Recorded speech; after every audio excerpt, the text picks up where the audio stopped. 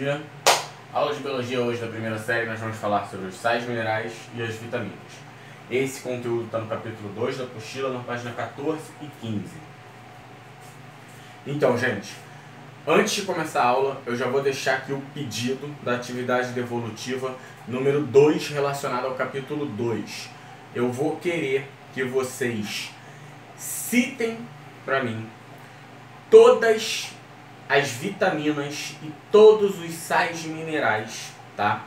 Que nós vamos citar na aula de hoje e que são os encontrados no organismo humano. Vocês vão citar eles, vão descrever a função de cada um no organismo e vão descrever aonde nós podemos encontrar, ou seja, as fontes que esses sais minerais e vitaminas são encontrados, ok? Pode fazer isso escrito, pode fazer isso em tabela, desde que seja nítido e que eu consiga entender e compreender para corrigir para vocês, tá bem? Então essa é a atividade devolutiva número 2, relacionada ao capítulo 2, tá? Então vamos lá. Vamos começar falando sobre os sais minerais. Antes da gente entrar de fato nos sais minerais, é importante a gente entender uma coisa. Todos os sais minerais e vitaminas que nós vamos falar hoje são os que existem? Obviamente que não. Existem outros sais minerais? Em relação aos sais minerais, a gente pode dizer que a gente vai falar basicamente quase todos que estão presentes no que o organismo humano utiliza, podemos dizer assim. Porque tem outros presentes, mas que não são utilizados. Mas que o organismo humano utiliza, é ok. Nós vamos falar todos.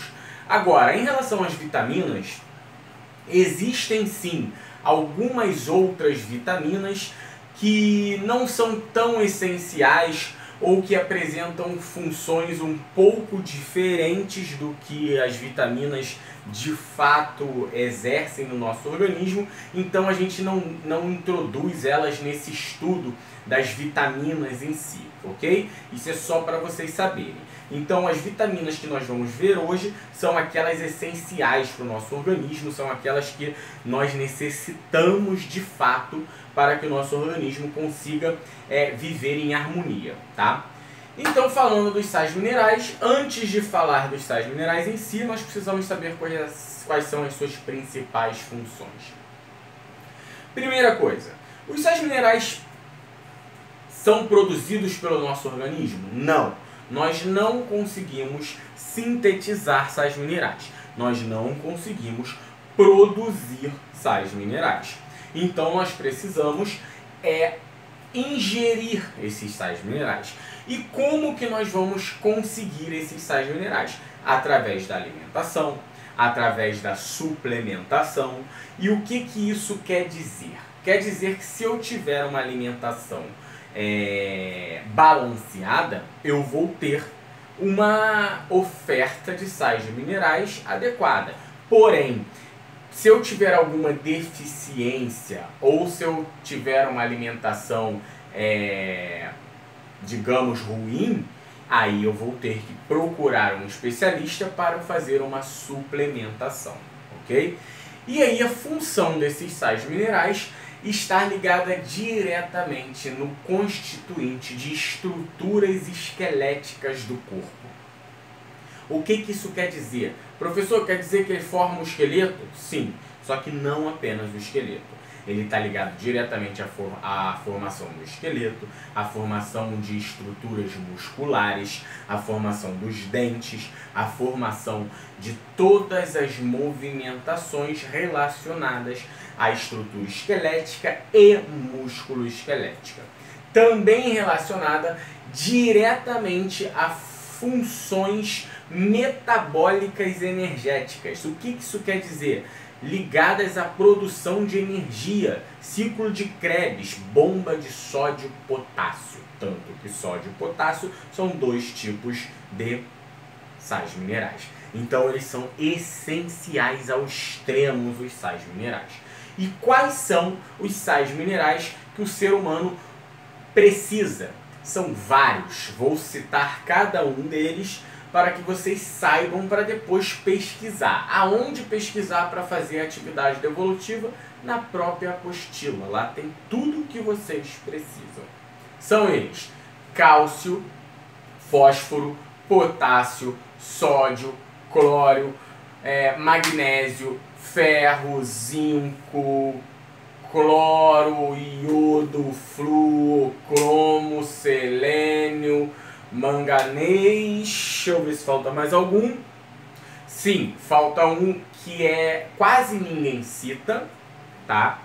E é de extrema importância. Eu não sei se ele tem na apostila. Se não tiver, eu vou pedir que vocês pesquisem ele na internet. Mas eu acredito que tenha na apostila sim, porque a apostila de vocês foi revisada e deve estar tá lá sim, tá? É o mol molibdênio, tá? Esse sal mineral, ele é muito pouco falado, mas ele tem uma grande importância, tá? Molibdênio, tá? Ele deve estar na apostila de vocês sim na tabela. Se não tiver, vocês pesquisem na internet, mas eu acredito que esteja, tá?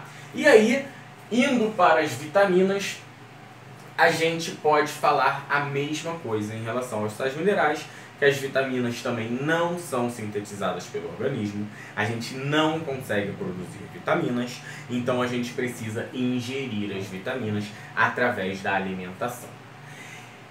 Alguns tipos de vitaminas, na verdade apenas uma vitamina, que é a vitamina D, ela não está presente na alimentação. A gente adquire vitamina D através do sol, tá? E por isso a importância da gente pegar sol, porque a ao pegar o sol, a gente ajuda a sintetizar a vitamina D, ok? Então vamos lá.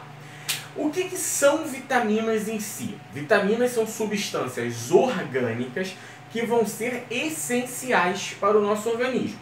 E como eu já disse, nós não sintetizamos, então nós precisamos ingerir através da alimentação. E o que que, qual é a principal função das vitaminas? As vitaminas elas vão agir no nosso organismo não como vitaminas, como a gente acha que ela age. As vitaminas elas vão agir no nosso organismo como cofatores enzimáticos. O que, que é isso? Isso é muito importante a gente compreender, porque isso é questão de vestibular. O que, que vem a ser um cofator enzimático? Um cofator enzimático é aquela substância que vai auxiliar as enzimas a conseguirem exercer o seu papel. Ou seja, uma enzima que tem determinada função a ser exercida não consegue exercer esta função se não tiver este cofator. E quem são estes cofatores? As vitaminas. E cada vitamina tem umas, uma função específica.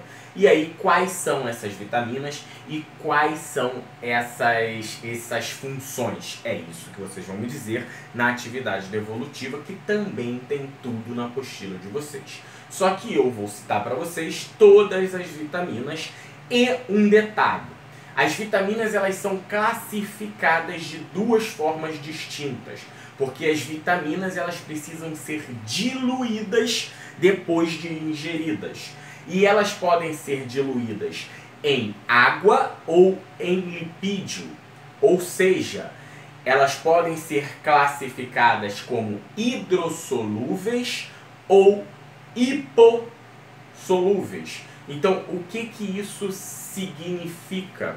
Significa que as hidrossolúveis são aquelas que vão ser solúveis em água e as lipossolúveis são aquelas que vão ser é, solúveis em lipídio, em gordura. Quais são as hidrossolúveis? Todo o complexo B mais a vitamina C. Essas são as hidrossolúveis. Quais são as lipossolúveis? A vitamina A, vitamina D, vitamina E e vitamina K. Agora vamos lá que eu vou citar para vocês todas as vitaminas já citei na verdade, né? Mas por que eu quero citar de novo? Porque cada uma delas tem o seu nome verdadeiro. A vitamina C tem o seu nome, a vitamina E tem o seu nome. Tenho que saber, professor? Infelizmente tem e os nomes são difíceis, vocês têm que gravar, que vocês podem se deparar a qualquer momento em uma prova. Vou citar, vocês anotem tem na apostila também, e aí vocês vão ter que ler, reler até gravar. Vamos lá. Vamos começar pelo complexo B. Para começar, o complexo B vai do B1 até o B12, porém a gente não cita todo o complexo B, porque a gente não utiliza todo esse complexo. Nós vamos ver que nós utilizamos a B1, a B2, a B3, a B6 e a B12, ok? Vamos lá. A B1 também é conhecida como aneurina ou tiamina, ok? Um destes dois nomes. A B2 é conhecida como riboflamina, riboflavina, ok? riboflavina ou riboflavina, um dos dois. A B3, ela é conhecida como nicotinamida ou niacina, tá? A B6, a B6 é apenas um nome, é a piroxina, tá? As outras B1, B2 e B3, vocês repararam que tem o OU, ou seja, vocês podem se deparar com um nome ou com outro, o que complica mais ainda, né? E para finalizar o complexo BB, tem a B12, que não é o OU, são dois tipos de B12 mesmo. É a hidroxicobalamina e a cianocobalamina, ok? Aí a gente vai para a vitamina A, que é a axeroftal ou retinol. Retinol é muito mais comum da gente encontrar. Temos a vitamina C, que é o ácido ascórbico, que é muito famoso. Temos a vitamina D, que também são dois tipos, que é a calciferol e a deidrocolesterol. Temos a vitamina K, que é a filoquinona, filoquinona. E por último, a vitamina E, que é a tocoferol. Tá, gente? Gente, eu sei que vocês não vão gravar isso agora, mas vocês têm que ler até compreender. Até a próxima, fico aguardando a atividade devolutiva.